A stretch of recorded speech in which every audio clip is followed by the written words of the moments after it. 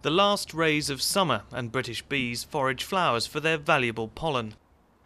John is new to beekeeping, but in the last few months his hive has already produced around 20 kilograms of honey. Not bad for someone living in one of the world's largest cities. His bees cover a four mile radius of built up South London, happily sampling hedgerows, gardens, and wildflowers. I went on a course and I'd always thought that I hadn't really got enough space here to do it.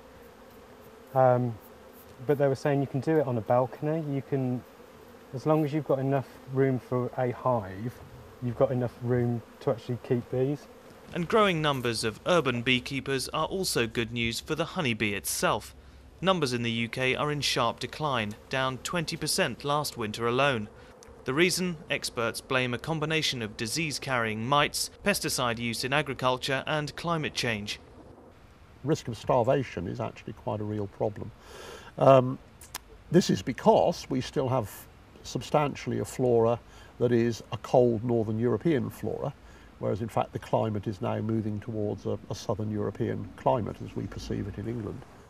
And longer summers are seeing hives staying active for longer, while the bees' food stocks are not. John's bees, though, are yet to face their first winter. For now, it's time for the taste test. It's got a very minty, eucalyptusy taste to it when it first comes out of the hive. Um, that sort of dies back a bit, but it is probably the best honey I've tasted. And it's hoped the buzz around beekeeping continues long after the sweetness of summer has gone. Lovely.